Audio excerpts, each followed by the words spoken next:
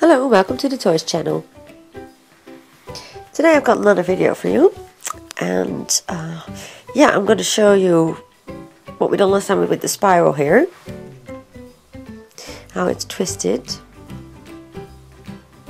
And I'm going to show you how we're going to make this. And it's uh, for in the water, so this is the description. And uh, I'll show you what we're going to do.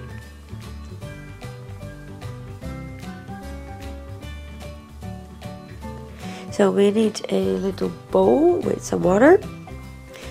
We've got a little cup here, uh, which is a combination of soap and water. We've got a pipette there.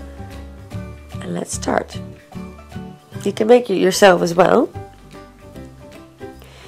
And uh, you can use um, this one or you can use a little piece of paper as well. That's fine but we need this little piece. Right first I'm gonna place it in the water. Right that's leaning on the water. Then we're gonna get we've got our soap with water and I'm gonna grab with my pipette some water and soap out of there and place some drops on the bit. Oh, it's moving.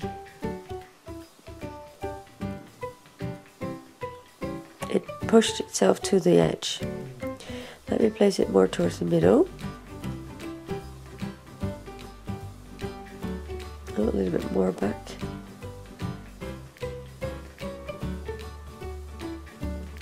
Going a little bit slower.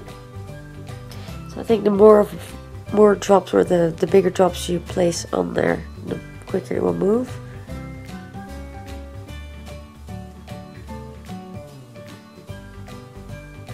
So basically we're making a speedboat out of a little piece of paper.